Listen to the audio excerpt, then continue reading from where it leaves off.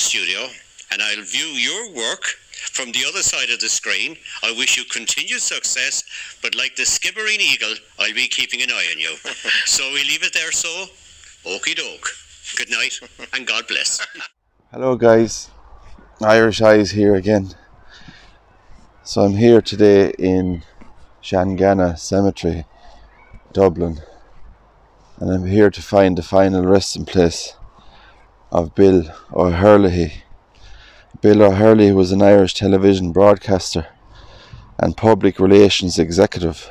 He was best known for his broadcasts for an RTE from the sports part of it.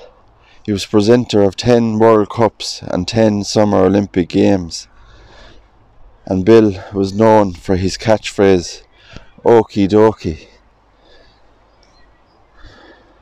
And I remember Bill on RTE doing all the World Cups and the European qualifiers.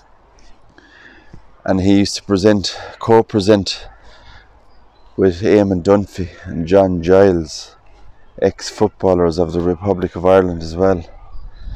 And this is the final resting place here of Bill O'Herlihy.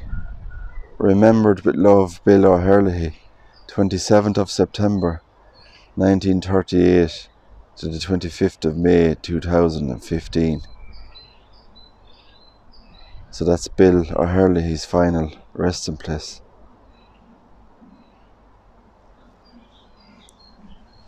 Well known in the sports department, football, and known all over the world. A very good TV presenter and brought a lot of happy memories to me growing up as a football fan myself. So rest in peace, Bill O'Herlihy.